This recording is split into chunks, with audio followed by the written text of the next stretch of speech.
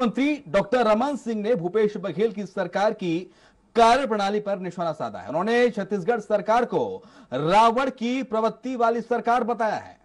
उन्होंने कहा कि यह सरकार आत्ममुक्त और दंभ में चूर सत्ता के मद में है। ये प्रवृत्ति नवरात्रि में ही दिखती है। ये रावणी प्रवृत्ति है। अहंकार से चूर शक्तियों का जनता रूपी दुर्गा की शक्ति मर्दन करती है। रमन सिंह से खास बातचीत की है हमारे संवाददाता आशीष तिवारी ने। हमारे साथ हम उनसे बातचीत करते हैं। नई चुनौतियाँ भी बीजेपी के सामने है नई कार्यकारिणी के सामने है। किस तरीके से पार्टी उन चुनौतियों का सामना करने के लिए आज कटिबद्ध होगी? पहली कार्य समिति है और पहली कार्य समिति में जिन मुद्दों पे हम जा रहे हैं एक राजनीतिक प्रस्ताव कृषि पे प्रस्ताव आएँगे और राजनीतिक प्रस्ताव में सरकार की असफलता और उसके साथ ही साथ प्रधानमंत्री जी के नेतृत्व में जो छः साल से ऊपर जो सरकार हो चुकी है, उन्होंने जो अमूलचूल परिवर्तन लाया देश में, छत्तीसगढ़ में, उसके लिए और सबसे बड़ी बात, जो कोरोना काल में जो 20 लाख करोड़ का पैकेज दिया है, दुनिया में कहीं ये पैकेज नहीं दिया गया। अकेला हिंदुस्तान ने दिया 20 लाख करोड़ का, एक लाख सत्तर हज़ार करोड़ का किसान कल्याण योजना के साथ साथ पैकेज दिया गया। तो ये अभूतपूर्व कदम उठाया है कोरोना काल के संकट में।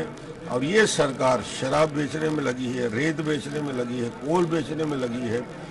कोरोना के संकट काल में गरीबों को एक हज़ार रुपये मदद करने की बात थी वो नहीं दिया। छल किया झूठ बोला।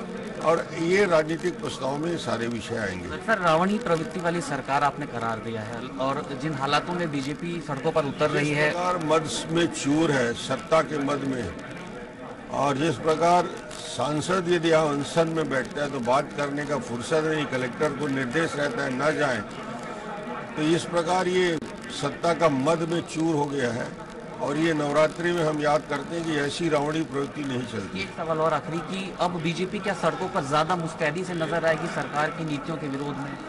बिल्कुल वक्त आ गया है संघर्ष आने वाले समय में सड़कों पर भी होगा। ये थे पूर्व मंत्री डॉक्टर रमन सिंह और जिस तरीके से उन्होंने सरकार को रावण प्रवृत्ति वाली सरकार करार दिया है, हालाँकि उनकी दलील इस तरीके से है कि सांसद आमरण अनशन पर बैठता है और सरकार की तरफ़ से इसकी सुनवाई नहीं होती। हालाँकि ये राजनीतिक बयान के तौर पर डॉक्टर रमन सिंह के इस बयान को देखा जाना चाहिए।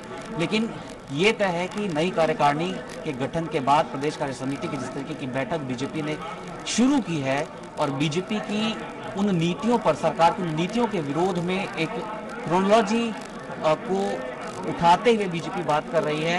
इससे साफ़ है कि आने वाले दिनों में सरकार के खिलाफ बीजेपी सड़कों पर अपनी आवाज़ बुलंद करती नज़र आ सकती है। कैमरामैन श्याम के साथ आशीष तिवारी, स्वराज एक्सप्रेस, रायपुर।